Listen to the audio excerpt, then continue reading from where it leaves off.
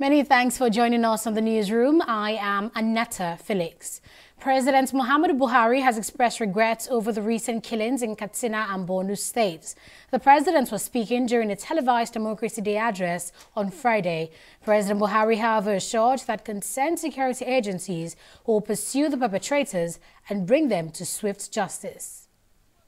All the local governments that were taken over by Boko Haram insurgents in Borno Yobe, and Adamawa have long been recovered and are now occupied by indigenes of these areas who were hitherto forced to seek a living in areas far from their ancestral homes. The total collapse of the economies of these areas, which constituted a threat to our food security, has also been reversed with the gradual recovery of farming and other economic activities.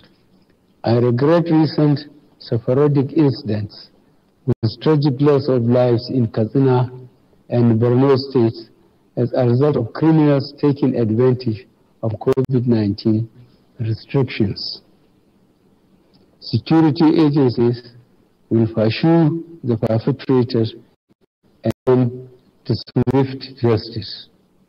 I implore state and local governments to revamp their intelligence assets so that the security agencies can nip in the bud any planned attacks in remote rural areas.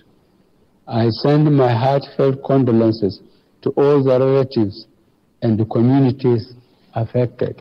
As part of the strengthening of our internal security architecture, the Ministry of Police Affairs was created. Among others, government has expanded the National Command and Control Center to 19 states of the Federation, resuscitated the National Public Security Communication System, and commenced the implementation of the Community Policing Strategy. Still, in his Democracy Day address, President Muhammadu Buhari commiserated with Nigerians who have lost their families and friends to the COVID-19 pandemic.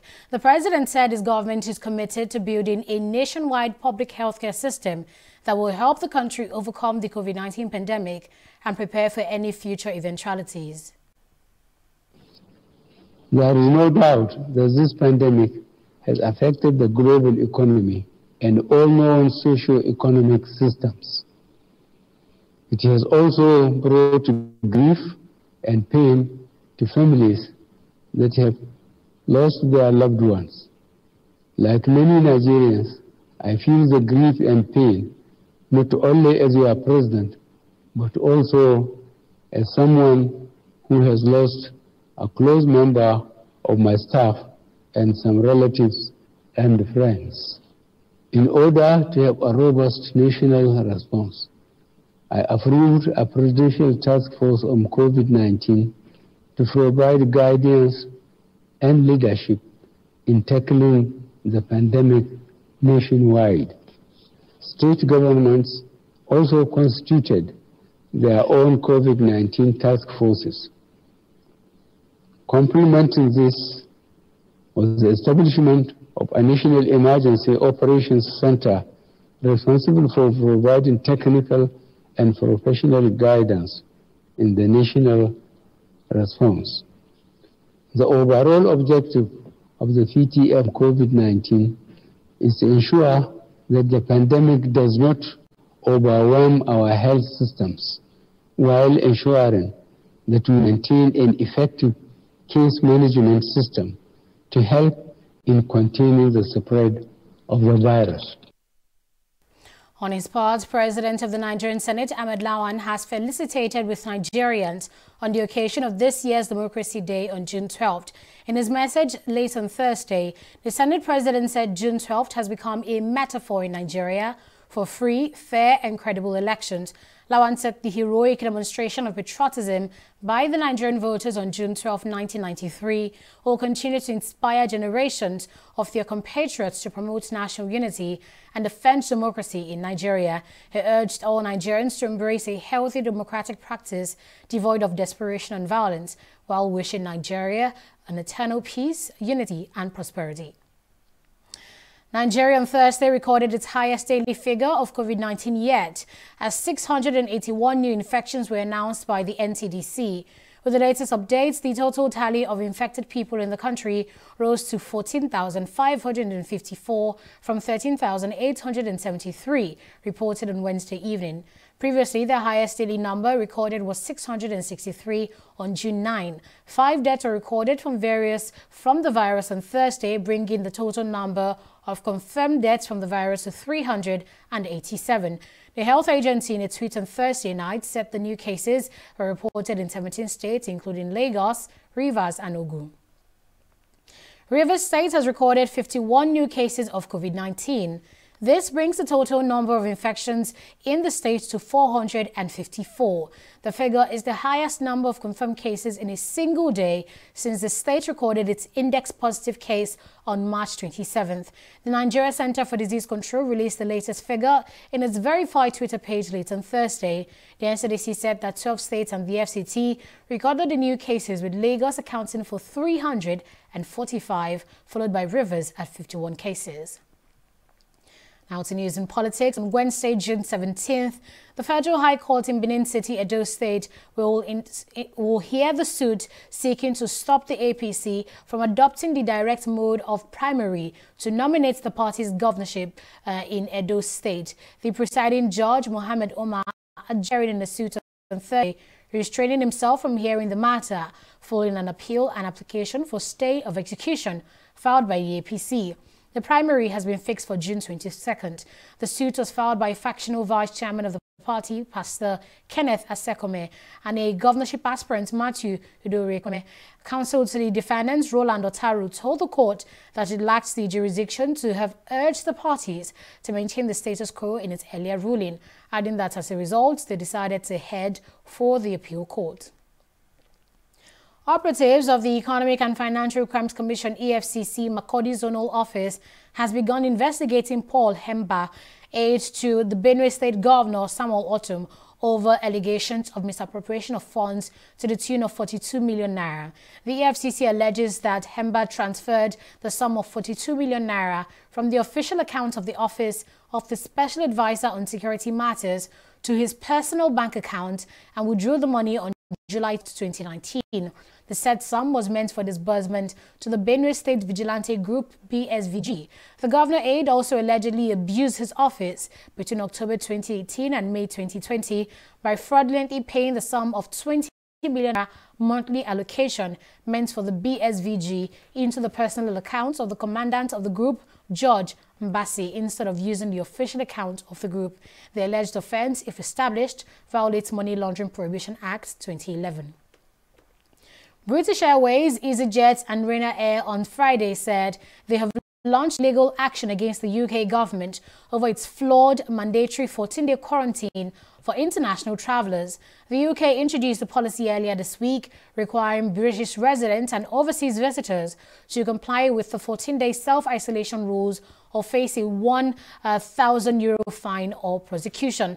The two-week quarantine measures have sparked condemnation from the alien aviation sector, which has been paralyzed by the pandemic since March. The three airlines said the policy will have a devastating effect on British tourism and the wider economy and destroy thousands of jobs, and they've asked for the judicial review to be heard as soon as possible. They also argue that the government failed to consult with them and that there was no scientific evidence provided for such a severe policy. Let's take a break here to return shortly.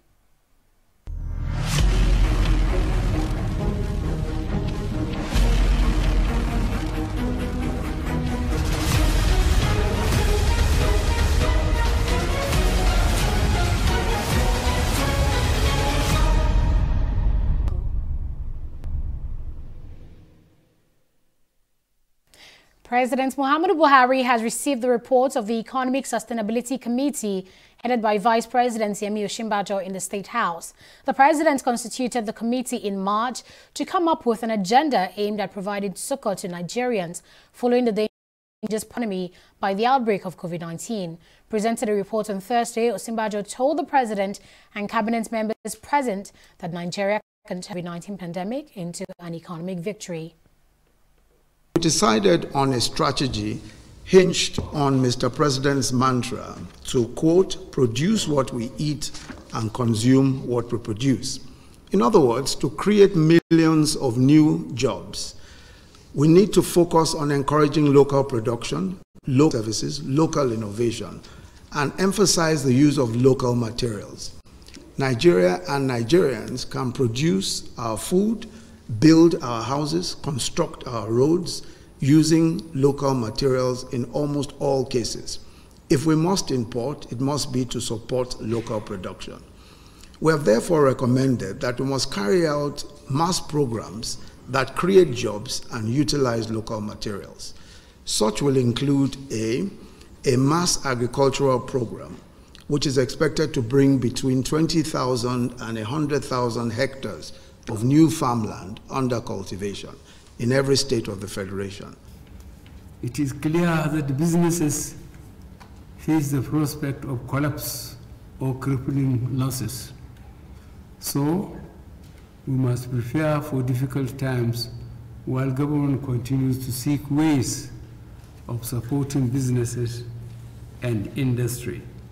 I note with particular interest the focus of the plan on A, stimulating the economy through a mixture of government spending and CBN structured loans to support businesses, especially sectors facing difficulties as a result of the COVID-19 pandemic and the result and the resultant socio-economic lockdown. Burundi's constitutional court will decide who takes over as interim leader following the sudden death of President Pierre Nkurunziza earlier this week. Following an extraordinary meeting, the cabinet agreed that the constitutional court should guide the country and show modalities of filling the post. According to the constitution, the Speaker of the House is expected to take over, but there's been uncertainty as to who's in charge. The government announced on Tuesday that 55-year-old Nkurunziza had died of a heart attack and no date has yet been fixed for his burial. FIFA has announced that it will allow leagues to open their transfer window before the current delayed season has been completed. The body said this on Thursday, adding that it has passed a series of temporary amendments to help deal with the havoc to the football calendar caused by the health crisis. Transfers will be permitted before the season ends, but clubs will not be able to find new signings until the end of the season, until the next season begins. And that's it on the newsroom at this hour. Thank you for watching. Bye for now.